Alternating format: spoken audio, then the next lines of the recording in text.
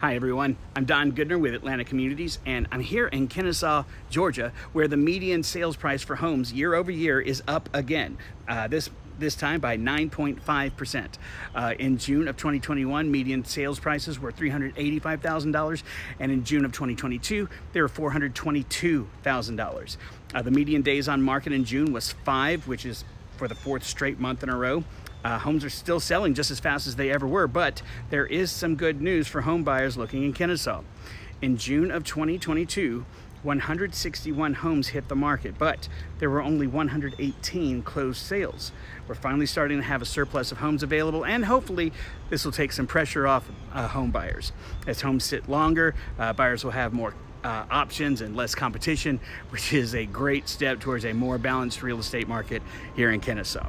Uh, so I'm here in Devon Park, a cute subdivision in Kennesaw with about 50 homes built between 2004 and 2010. Uh, this home behind me is listed for $465,000.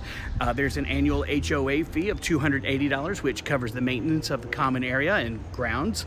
Uh, it's districted for Lewis Elementary, Awtrey Middle School, and North Cobb High School. So let's take a look and see what $465,000 will get you in Kennesaw, Georgia.